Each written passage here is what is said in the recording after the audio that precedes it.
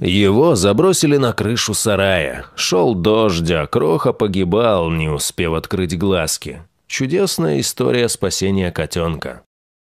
Сегодня мы расскажем необычную историю спасения новорожденного котенка, которого забросили на крышу сарая и оставили умирать под проливным дождем.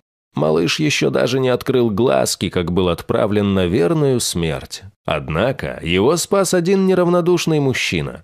Одним дождливым вечером Рэй Варгас услышал жалобное мяуканье со стороны заднего двора. Мужчина сразу поспешил проверить, в чем дело, и был поражен. На крыше лежал маленький серый комочек и просил о помощи. Рэй тут же решил забрать котенка домой. Его мамы нигде не было видно, и спаситель решил взять ситуацию в свои руки. Он начал регулярно кормить малыша молоком из шприца, отвез к ветеринару, искупал и обеспечил ежедневный уход. Вскоре он так привязался к котенку, что решил оставить его себе.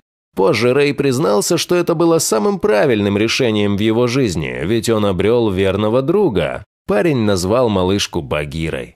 Постоянный уход пошел девочке на пользу, и со временем она превратилась в прекрасную кошечку, которая больше всего любит спать на руках своего спасителя.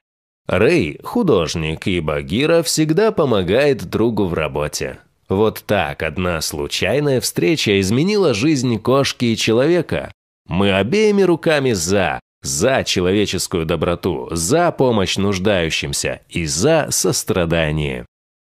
Дорогие друзья, если вам понравилось видео, поставьте лайк, а также подписывайтесь на канал, где найдете еще много